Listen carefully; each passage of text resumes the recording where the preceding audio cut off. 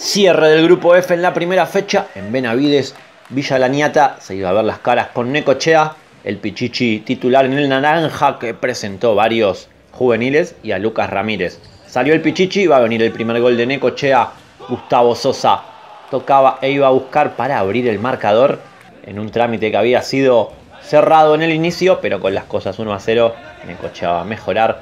Pelotazo a las espaldas y Damián Díaz marcaba el 2 a 0 para que el equipo de José León Suárez se vaya 2 a 0 al descanso, ganando con autoridad ante los chicos del Naranja y va a llegar el tercero.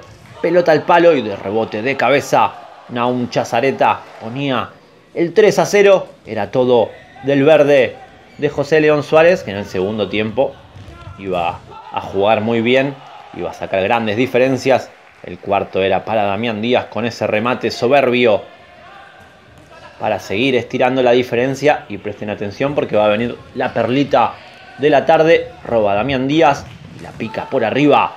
Golazo para el 5 a 0. Lo vi justo adelantado ahí, dije se la pico, se la piqué. Se la quiero dedicar a un amigo, a Nico que está en casa que no pudo venir, para él. La ñata iba a descontar tras ese tiro de esquina. Iba a aparecer el gol de Lautaro Chávez, pero no iba a haber tiempo para más. Iba a poner arquero jugador el naranja y lo va a aprovechar Necochea. Va a llegar el gol de Lucas Chazareta y el final del partido fue 7 a 1 para Necochea.